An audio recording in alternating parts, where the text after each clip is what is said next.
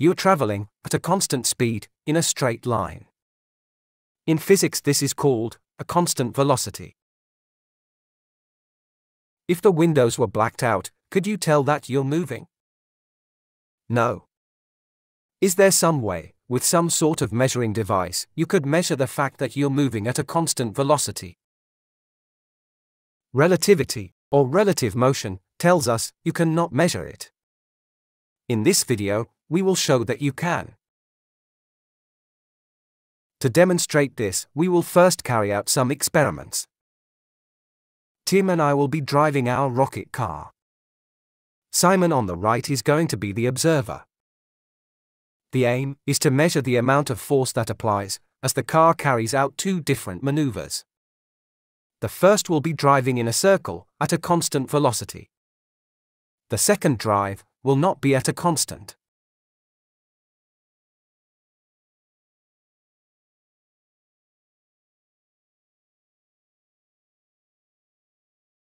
Using a load cell. Fastening the cell to the car's inner bodywork. Then attach a mass to the top of the cell. The load cell sends out a changing charge that is proportional to the amount of force being put on it. This information will be shown on a graph.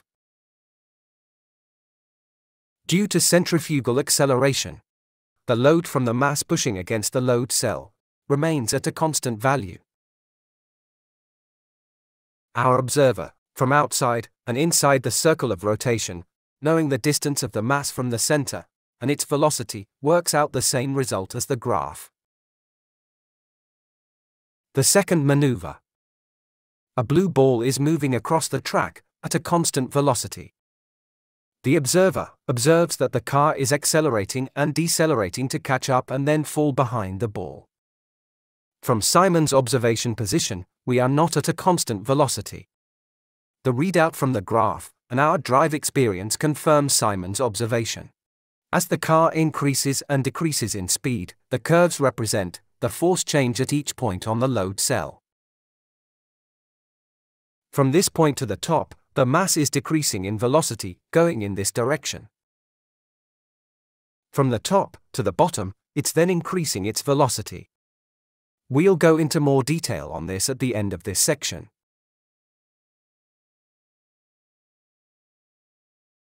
The observer Simon. By changing his position, can he change the readings from the load cell? No. That's impossible. He is only the observer, he has no influence on the mass in the car. Simon's new position cannot change the readings on the graph. The only thing that has changed is what he can observe from that new position. From this point, his observation calculations will be totally different than before. Relative to him, his new calculation will look like the car is just rotating at a constant. That the readings on the graph should be straight, with no deviation. The observer Simon makes two different calculations.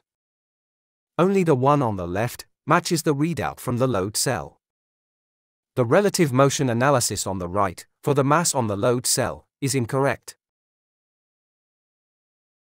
Simon is deceived into thinking this is the reality for our mass.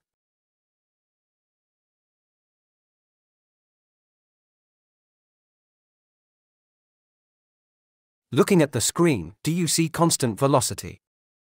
No two accelerations are happening at the same time. The rotation part of our motion, we get centripetal acceleration, giving us a constant centrifugal force of the mass against the load cell. This is represented by the red dashed line on the graph.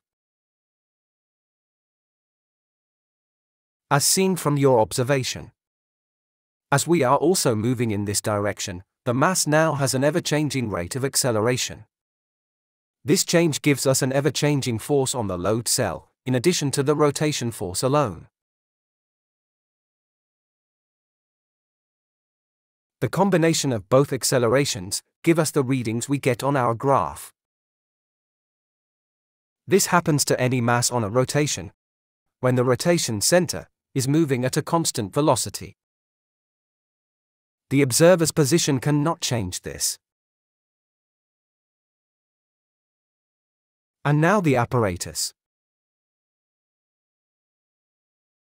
Moving at a constant velocity is a person contained within a sealed compartment with one way glass. The apparatus consists of two load cells, each with the same mass placed at the top.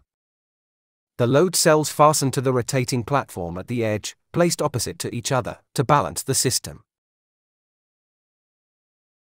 The platform's rotational speed is set to a constant value. This can be adjusted if needed. As with the car, just rotating, the graph is showing a constant force from the mass against the load cell. The container is now moving at a constant velocity. We now see the two telltale curves on the chart. The peak of each curve indicates the line of travel. The direction along that line cannot be determined.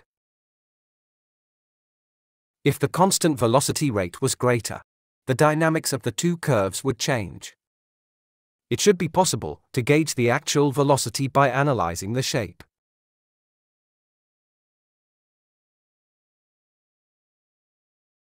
By changing position, an observer can only change their perception of what is happening.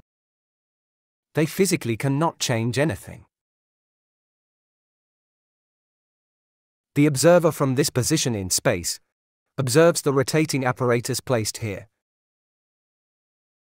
it is also moving at a constant velocity with the ground at over 500 miles per hour.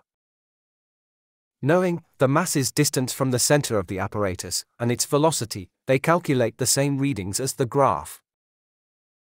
When the observer changes position, the graph's readout remains the same. Only their perception of what is happening to the mass changes. If we see no curves on the graph, the ground is not moving.